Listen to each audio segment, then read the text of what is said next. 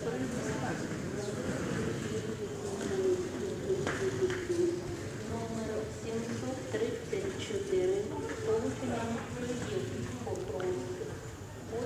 находится на восьмой улице.